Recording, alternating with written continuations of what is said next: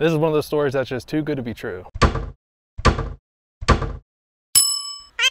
On a daily basis, the officers are interacting with deer and birds and squirrels and all kinds of stuff, but this is definitely the first parakeet. We came in as a team up to the house.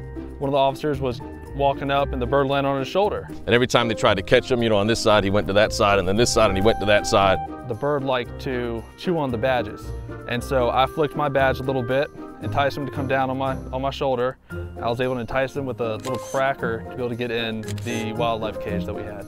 So it really became like a foundation-wide effort to, you know, reunite the bird with the family and Monticello really came together, posted it on social media. You know, we got at least four replies from, you know, people who knew Pam and relatives and all that.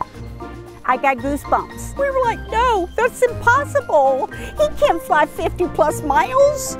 But he did. With all the predatory birds and animals and just against all odds to make it here to Monticello. As far as birds go, he's definitely an overachiever. We're just really happy that, you know, the day has come and we can reunite Kiwi with Pam, his owner. Kiwi!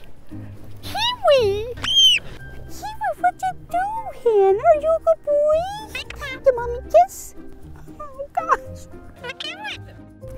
It's okay. You... Oh my God, thank you so much.